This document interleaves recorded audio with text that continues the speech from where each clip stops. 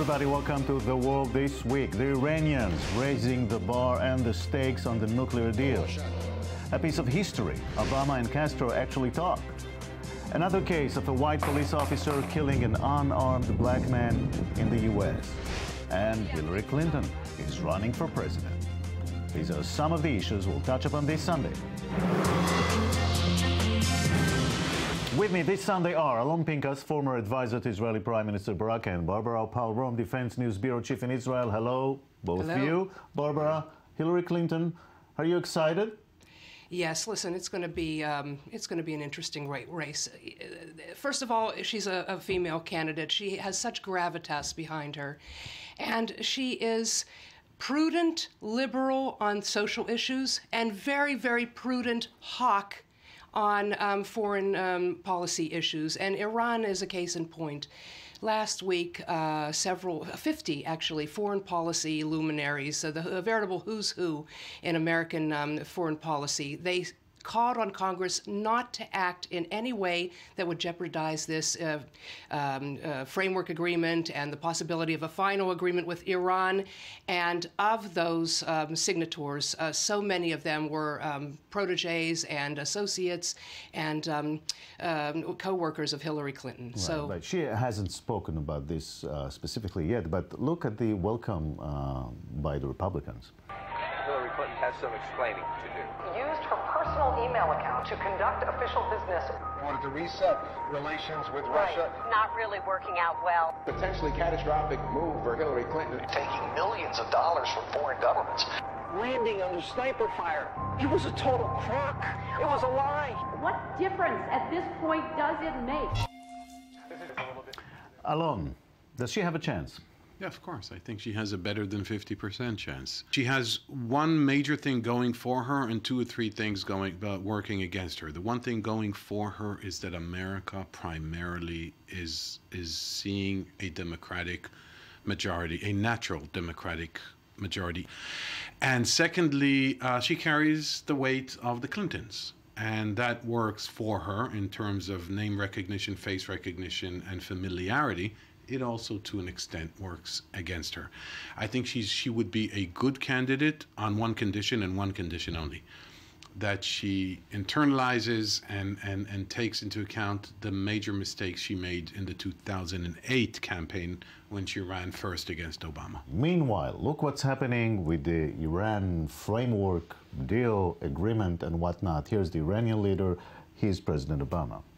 We will not let go of our peaceful nuclear technology. Our nuclear facility in Natanz will continue its activity. Enrichment in Natanz will continue. We have over a thousand centrifuges in place in Fordo, and they will remain in place. In Arak, we will have a heavy water reactor for the production of medicine for medical purposes. What is uh, a more relevant fear would be that in year 13, 14, 15, they have advanced centrifuges that can enrich uranium fairly rapidly. And at that point, the breakout times would have shrunk almost down to zero. Alon, what's going on? Um, each side selling uh, the deal domestically. Uh, both have to market the deal. Uh, the Iranians, let's not forget that those who negotiated are the so called uh, um, Moderates. moderate uh, wing of, of and, and they need to sell this to the Iranian But the people. Iranian leader says, no, no, that's not going to happen. This is not going to happen. Fine. This is not going to happen. And the United States president says they're going to have eventually a bomb in 15 well, years. yeah, if you take those two and you juxtapose them, it looks bad. But And even the, fact- president said that even the supreme leader of the Islamic Republic has to play to his constituency. Right, as as does President Obama uh, to Congress and to to American public opinion. Look, no one thought there was a deal when the framework agreement was uh, announced uh, on the second of April. Everyone knew this is going to stretch until the first of July or the thirtieth of June. I don't know if there's going to be a deal. And anyway, I, I think this is insignificant because the, the, the, the proof of this pudding is in its eating i.e., once there is a deal, assuming both sides sell it to their domestic constituencies, the deal is going to live or die on its implementation, not on its text. Bottom line, we're going to have a nuclear Iran. Bottom line is when will this uh, nuclear threshold Iran materialize? Next year or in 15, 20 no, it's years already from now? there. Uh, Without an agreement, Iran is a nuclear threshold state. It's a turnkey state. All right. Without it's an agreement. It's a turnkey state. But the, the thing more, um, in, I guess, um, more significant to U.S. Israel relations is the hardball that is being played uh, from both countries. I mean, Netanyahu is doubling down, betting that Congress will kill this deal, and the White House is fighting back very, very hard. And yes, there is a bill in uh, in, in, the Senate, sponsored by uh, the chairman of the Foreign Relations Committee, Senator Corker, that will get out of committee uh, probably this week or next at the latest. But what happens after that is uh, to be determined. It, it might actually die a slow death. Barbara and Alon, I'll say thank you very much and see you here again. Thank you. When it comes to Iran's nuclear program, there's a lot of jargon and spins flying up the air. So let's try to clear some of that uh, with the help of an expert. This is Chris Bidwell, a senior fellow at the Federation of American Scientists. Thank you very much for joining us. Well, thank you for having me, Jacob. Now, how can somebody, uh, let's start with this, determine how far Iran is from making a bomb? Well, somebody, uh, first off, you're not just worried about a bomb, you're worried about a nuclear, a working nuclear weapon, which has three big components, which are not currently being discussed in, in, in full in these negotiations. And it's having the bomb material, which is being discussed, but it's having a weapon system, a triggering device for that bomb, and a delivery system to get that bomb from point A to point B. And it's not an exact science determining how far away Iran is from that bomb. Uh, the information one has to, to make that determination is always, no matter how intrusive and how good your inspections are, it's always going to be incomplete. And because it's incomplete, it's kind of like a puzzle. You've got some pieces, but you will never have all the pieces. The good news is, is that uh, you know a weapon uh, requires a lot of people, a lot of money moving and being transferred, huge facilities to, to build all the component parts, and those are things that are observable. So you can get a sense uh, of, of, of how a program is developing because of the sheer size and volume of that program. Uh, bottom line, if if Iran like North Korea before, really wants to get a bomb, can anybody prevent them from getting one? If they really, really, really want it, you can't prevent it. The problem is, and, and the trick is making them not really, really, really want it. And this is where, with Iran, you know, uh, economic sanctions, economic exclusion sanctions, have put that pressure on Iran to make them not really, really, really want it. Um, and uh, you know, the inspections that, that, are being proposed here can, can help, but they can't absolutely prevent uh, Iran from getting a bomb. They will only help the process to bring political pressure on Iran to not want to get the bomb. Now, uh, critics of the framework agreement say that uh, the facilities are still there, uh, the enriched uranium is there, and uh, therefore, sooner or later, the bomb will be there. Uh, do you agree? Uh, for, well, first off, I'm not convinced there is an agreement. I think there's a framework for getting to an agreement or a glide slope that'll get you to an agreement, but no agreement. Now, if you look at the outline that the White House put out on April 2nd about where, where this potential agreement could could end up, there's a lot of roadblocks in there which can be effective and, and certainly slow down or cause Iran to think about how much further it wants to go with, with any potential nuclear program. Now, Israeli Prime Minister says that uh, the world should continue with the sanctions President Obama said uh, mm-hmm. he never prevented Iran from advancing its its nuclear program. So, so who's right? Well, in a way, they both are, and, and the question hinges on how you define sanctions. There's there's two basic types of sanctions. There's there's non-proliferation sanctions, and then there's economic exclusion sanctions. When talking about the non uh, non-proliferation sanctions, these are things like export controls, blacklisting of individuals and companies. These are roadblocks to getting a nuclear weapon they are somewhat effective, but there's always going to be a middleman. There's always going to be a banker that helps a determined proliferant get around these things. And so those sanctions are mildly effective on a good day. On the other hand, you have the economic exclusion sanctions. These are highly effective. They work because large multinational companies, insurance, banking, transportation interests, fear being excluded from the U.S. market or having the huge fines like uh, BNP Paribas hit for $9.6 billion. Uh, so they don't do business with Iran, and that economic exclusion is what's hurting Iran. That's what brought them to the table. They didn't come to the, to the table because everything was like honky dory and going fine. They came to the table because they want relief from that pressure. The trick is, are they willing to give up their nuclear aspirations to get that pressure relieved? And that's what remains to be seen. Mm. Chris Bidwell in Washington, I thank you very much. Well, thank you for having me, Jacob. Let's take a few minutes to talk about the human brain. Moran Cerf is an assistant professor at the Kellogg School of Management and the Neuroscience program at Northwestern University. We caught up with him in a cyber conference here in Israel. Professor Cerf, thank you very much for joining us. Thank you.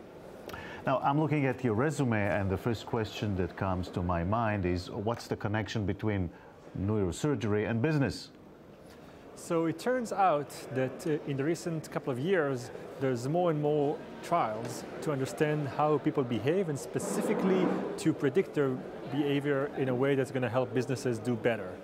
This means if I know something about your purchases decisions and what intents you use in, in making a choice, I can maybe use that to sell something better or to just communicate some information to you better. So businesses are getting into the world of trying to look at the brain and see what people choose so they can make better products. And how do you translate this to more business? So the business world uh, is all about understanding customers. So the more we know about their brain, the more we are able to make better products for them and sell better. So you can think of all the knowledge we have right now on human biases, like you I, I, put two items on the shelf and maybe you're gonna buy the cheapest one because you tend to buy cheap. So I put a little more expensive item on the left and you choose the one that's in the middle. All of those biases, the more we know about them, businesses can actually sell better. In your work, uh, you have researched issues such as uh, human perceptions, questions of how uh, uh we can control our emotions. In short, how that machine works. We know right now that humans have some ability to control their emotions. Uh, this is very different than animals who can experience emotions but can't control them. You, you can't think of a dog who is really interested in not ex exhibiting some kind of happiness and just kind of hiding it. But humans can actually hide emotions or mask them or control them.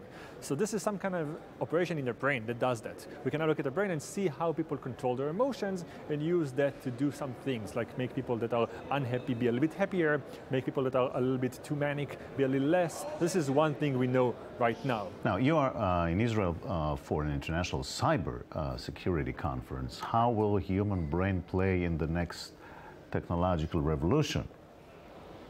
So I'll give you two answers, two examples. So here's one of them we now know that if you uh, put a password, you create a password for your Gmail account, let's say, uh, you choose a very long password and you make it very secure and you use capital letters and, and uh, digits and a lot of things, this password is very safe but it's still kept in one place that's uh, easy to get into, your brain. So no matter if you write it everywhere, it's still written somewhere inside your brain. So if we can somehow access your brain and read your thoughts, so to speak, we can actually get access to this password.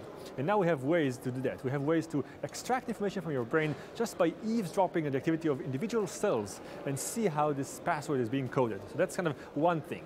And we can actually uh, use knowledge from neuroscience right now to get information that you yourself know. On the same vein, we can do something that's the opposite. We can actually create passwords that your brain knows that you can actually use, but you yourself don't know. This is a bit kind of ambiguous. So your brain carries a password, you can use it, but you yourself cannot repeat that. You know, you don't know the password itself. We can do that by making your brain do things that it's able to do without being accessible to you. I give you an example.